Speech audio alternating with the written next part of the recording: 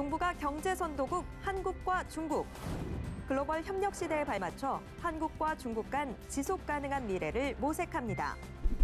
2021 한중 글로벌 경제 협력 포럼. 각계 최고의 전문가들과 함께 다자주의 질서 안에서 양국 협력 과제와 방안, 수소 경제, 친환경 에너지 등 유망 분야 협력 방안, 한국과 중국 양국 관계 발전에 대해 모색해 봅니다.